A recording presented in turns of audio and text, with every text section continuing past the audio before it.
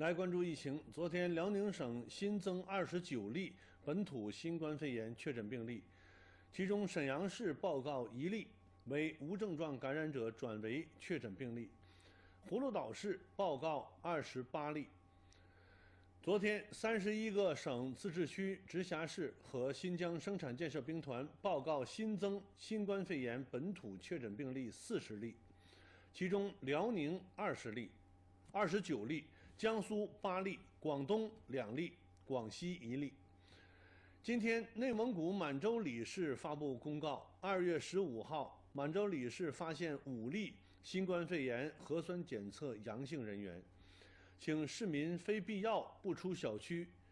今天八点起，对满洲里全市各交通道路和市区出入口实行严格交通管制。